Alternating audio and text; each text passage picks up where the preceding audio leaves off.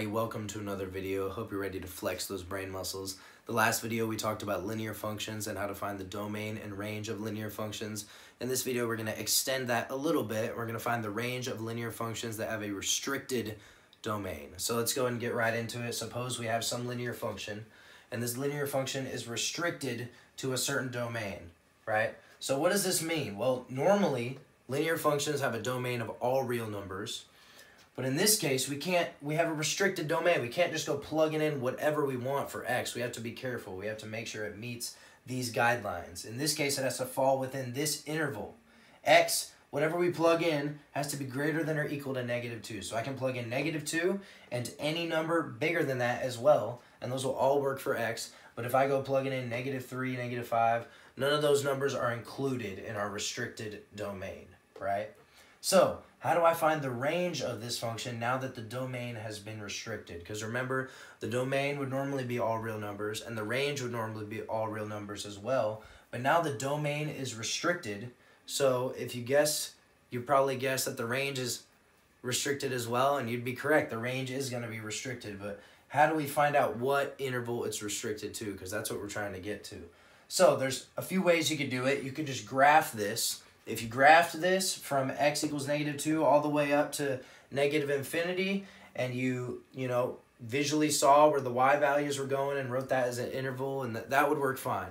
But it's not necessary, and when these examples get a little more complicated, it gets more tedious, there's actually a simpler, easier way to do it, so I'm going to go ahead and share that with you right now. So, what we're going to do is, we're first we need to find out, is this function increasing or decreasing? So, Luckily, we're given this beautiful function in y equals mx plus b form, which is slope-intercept form.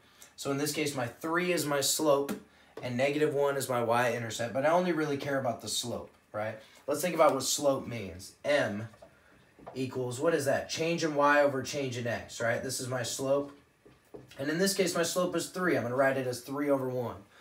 So what this means is when my x increases by 1, my y increases by 3. So as x increases, y increases. And we don't even really care by how much it increases.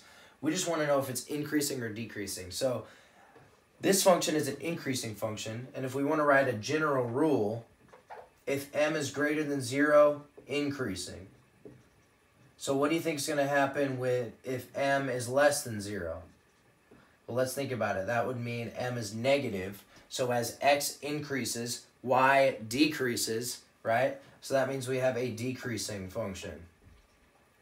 What about if m is 0? I'm missing one case.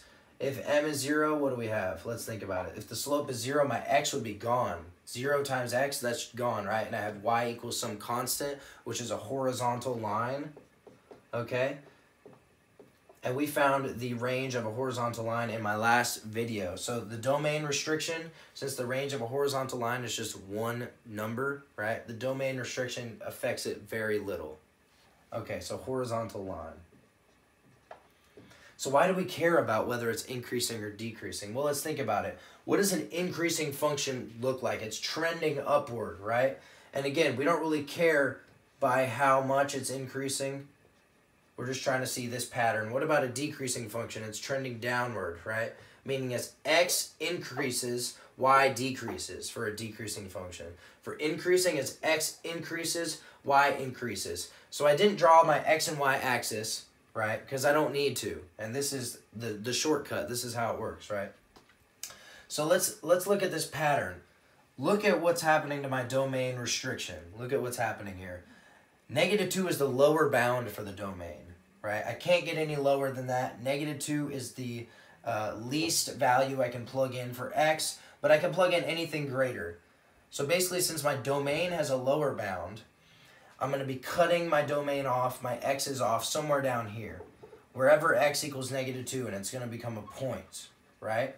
So think about it. If my function is increasing, negative 2 is also the lower bound for the range, because my range are the y values.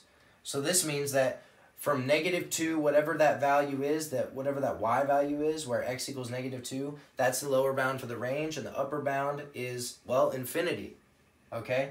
What about if it's a decreasing function? Well, the same idea applies. I'm cutting it off here, where x equals negative 2, and my x is going all the way to infinity, so I'm good all the way out here. And what's ha happening to my range? In this case, my wherever x equals negative 2, that y value is the upper bound, right? This time it's the upper bound for the range. So this is all we really care about, increasing or decreasing. And in this case, since it's increasing, our range is going to be what? Range. Our range is going to be some interval starting at whatever happens when I plug in negative 2 and ending at infinity. So I'll go ahead and write, uh, let's see. I know that we're going to include that point because we have a solid dot. It's f of negative 2 basically, or in this case we just plug in negative 2 to x. And I'm ending at infinity. So what is this value? Well, I can simply plug in negative 2. I probably could have done that earlier, but okay, 3 times negative 2, that's negative 6, minus 1, that's negative 7. Negative 7. So uh, in this case, our range starts at negative 7. This is our y value, negative 7. It goes all the way up to infinity. So again, you could have graphed this, and maybe it makes more sense to you to graph this when you're first learning it. But this is a shortcut, and it works for more complicated examples where you can just think about, okay, is it increasing or decreasing? Okay, what is happening to my domain? And you know, you may have a domain restriction where it's the domain is bounded above, and you may have a, a domain restriction where the domain is bounded below and above, right? And you just have to make those adjustments depending on how the domain is restricted. Make those adjustments on your little line here. But hopefully this helps some of you uh, find the, the range of linear functions that have a restricted domain. If you want to see more examples, let me know in the comments. But hopefully this helps. If you have questions, let me know. If you enjoyed this video, hit like and subscribe. And I'll see you in the next video. We'll make some more brain gains.